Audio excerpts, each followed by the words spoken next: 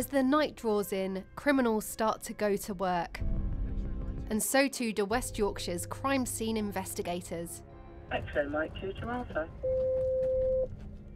Yeah, if you can show me his code 5 to log 538, please. A break in nearby has been reported, and Chris Barley is on his way to investigate.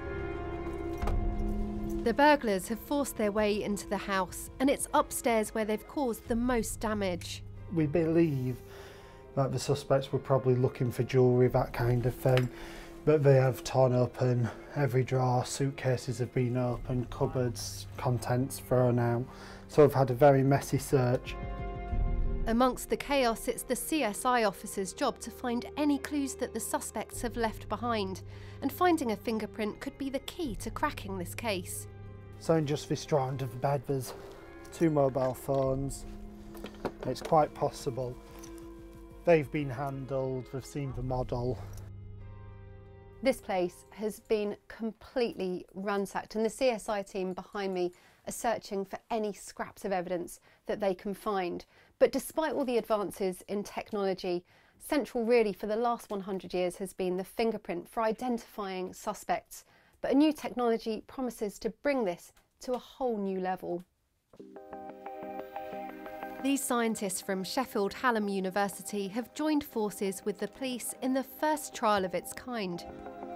They say a fingerprint reveals far more than just a person's identity. It can provide vital clues about the suspect's activities hours before the crime took place. The samples are analysed here in the lab. They're looking for any trace, no matter how small, of substances hidden within or on the prints. They use a technique called mass spectroscopy. It helps them to find out what these chemicals are by seeing how they behave when they're fired through a magnetic field. To make it easier, let's imagine we have a ping pong ball, a football, and a cannonball, and that the field is a steady stream of wind. If you throw the ping pong ball, the gust will have a big effect on its path through the air. The heavier football's journey is less affected, and the cannonball is pretty tough to move. By studying how these balls travel and where they end up can tell you a lot about what the objects are. And it's the same for molecules and atoms. This was a, a, crime scene mark found on a laptop, and so we analyzed it. And this is a software that enables you to see the molecules distributed on this particular mark. And what we think it is here is cocaine, because the weight, or the mass to charge more technically, would correspond to that presented by cocaine.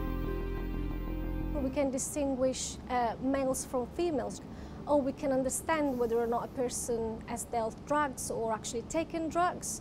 We can detect ingested substances, so we may be able to reconstruct what that person has been eating just before um, committing the crime. Back on the road, and the forensic squad have been called to another break in. This time, a television has been stolen. More prints have been left, helping the team to build a profile of the person that's committed this crime. We've got to use all the tools at our disposal to try and identify and solve crime. Um, criminals are getting better at doing what they do and we need to keep up with them and this is just one way that we might improve the way that we can use fingerprints and ultimately um, prevent and detect crime. The calls from Police HQ keep flooding in. The work is never done. And any new tools for this CSI team will, of course, be most welcome to help with their ongoing fight against crime.